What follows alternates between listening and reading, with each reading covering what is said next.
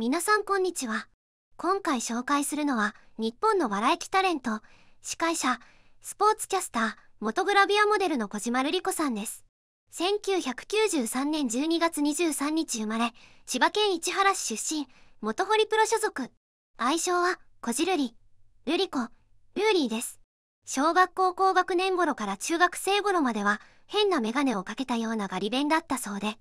高校は県内有数の進学校である千葉東高校に進学しました。15歳の時に第34回ホリプロタレントスカウトキャラバンで3万3910人の中からグランプリ受賞し同年10月25日ホリプロの大先輩和田アキ子さんが司会を務める「アッコにお任せ」で全国ネットのテレビ番組に初めて出演しました。グラビアをしていたこともあり親の顔より見てるおっぱいの方もいるのではないでしょうか。私もキャメラでコジルリちゃんのおっぱいを接写したいです。股間に正直な撮影はまさにあそこにお任せですね。しょうもない冗談はともかくそんな気になるコジルリちゃんの3サイズですが一番最後に発表しますので最後まで股間をシャチホコのようにしてご覧ください。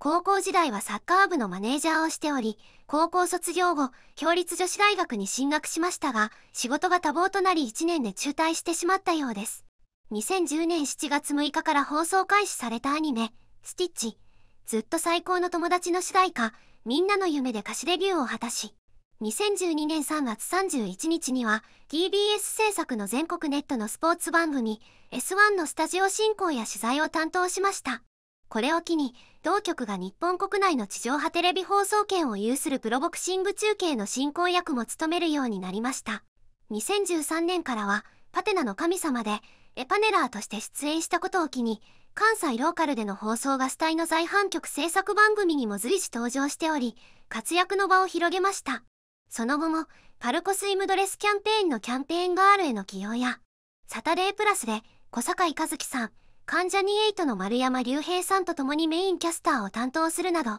様々なテレビ番組に出演しました。2020年7月には、キングダムの作者である漫画家の原康久さんとの交際が報じられ、ミムコジラジオの中で交際を認めましたが、2021年6月28日に原康久との破局が報じられたりと、プライベートの話題もこと書きませんでした。2022年8月8日には、中国での活動を見据え、翌2023年から同国の大学に留学することを明らかにし、7年間 MC を務めたサタデープラスを9月24日の放送をもって卒業することを発表しました。また、12月23日にラスト写真集、ルリを発売し、グラビアモデルとしての活動を卒業しました。そして、2023年2月末日でホリプロを退社。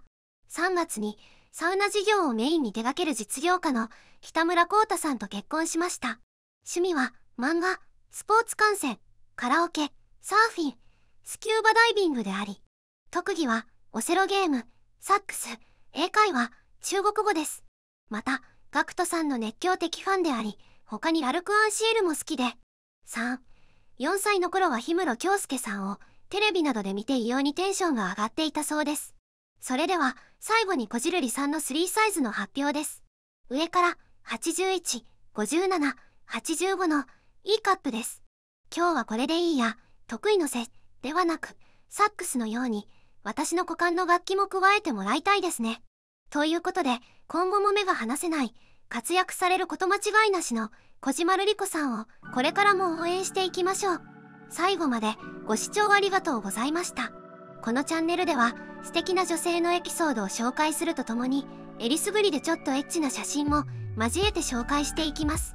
この動画を見て今日はこれでいいやと思った方は是非チャンネル登録高評価をよろしくお願いします。それではこの後はコジルリさんとの2人っきりのお時間をお楽しみください。ではまた次の動画でお会いしましょう。